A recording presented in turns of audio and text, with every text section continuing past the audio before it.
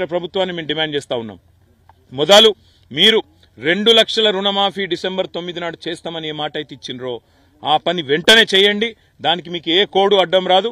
అవసరమైతే ఎన్నికల కమిషన్కు ప్రత్యేకంగా లేఖ రాయండి. ఇది మా ఎన్నికల హామీ. వెంటనే నెరవేర్చాలనుకుంటున్నాం. మేము ఈ వెంటనే చేసి రైతుల్లో భరోసా నింపాలనుకుంటున్నాం. ఇప్పటికే దాదాపు రెండు వందల మంది రైతులు ఆత్మహత్యలు చేసుకున్నారు కాబట్టి ఈ విషయంలో ప్రభుత్వం వెంటనే స్పందించాలనేది మొదటి డిమాండ్. రెండవది ఖచ్చితంగా ఈ ప్రభుత్వం చేయవలసింది. మీరిచ్చిన మాట ప్రకారం రైతు భరోసా ఏదైతే పదిహేను వేల రూపాయలని మీరు చెప్పినరో కేసీఆర్ పదివేలు ఇస్తుండు నేను పదిహేను వేలు ఇస్తా అన్నావు. ఆ పదిహేను వేలు కూడా ఇచ్చి మీరు మాట నిలబెట్టుకోవాలనేది రెండో డిమాండ్. మూడవది ముఖ్యమైనది కౌలు రైతులకు రైతు కూలీలకు పైసలు ఇస్తా అన్నావు వెంటనే ఇవ్వాలని చెప్పి కూడా మేము డిమాండ్ చేస్తా ఉన్నాం.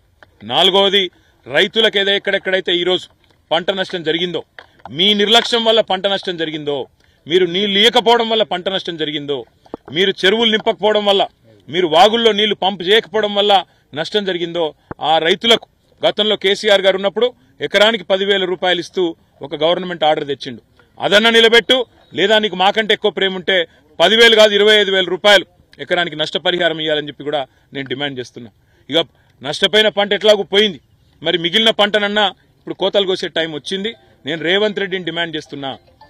పోయిన పంటకు నష్టం జరిగిన పంటకేమో ఎకరానికి పదివేల రూపాయల ఇరవై ఐదు వేల రూపాయల ప్రభుత్వం నిర్ణయం తీసుకోవాలి వెంటనే నష్టపరిహారం ఇవ్వాలి పంట ఏదైతే కోతకొస్తున్నదో తొందరలో కొనుగోలు కేంద్రాలు ప్రారంభించాల్సిన అవసరం ఉంది. మీరే చెప్పినరు ఐదు వందల రూపాయలు క్వింటాల్కు బోనస్ అన్నావు. మరి ఇప్పుడు వెంటనే క్వింటాల్కు బోనస్ అన్న ప్రకటించు. ఏ ఎన్నికల కమిషన్కు అవసరమైతే ప్రత్యేకంగా పోయి వాళ్ళకు ఉత్తరం రాసి ప్రత్యేకంగా కలిసి రైతులు కష్టాల్లో ఉన్నారు కాబట్టి చేయక తప్పడం లేదని చెప్పి వాళ్ళ పర్మిషన్ తీసుకో. తీసుకొని వెంటనే మీ చిత్తశుద్ధి చాటుకోవాలని చెప్పి కూడా నేను రాష్ట్ర ప్రభుత్వాన్ని డిమాండ్ చేస్తున్నా. ఈ ఆరు డిమాండ్లు కూడా రాష్ట్ర ప్రభుత్వం వెంటనే మరి తక్షణమే దీని విషయంలో స్పందించాలి ముందుకు రావాలి. రైతుల మీద ఏమాత్రం ప్రేమ ఉన్నా ఈ ప్రభుత్వానికి ఏమాత్రం చిత్తశుద్ధి ఉన్నా వెంటనే స్పందించి ముందుకు రావాలని చెప్పి కూడా డిమాండ్ చేస్తూ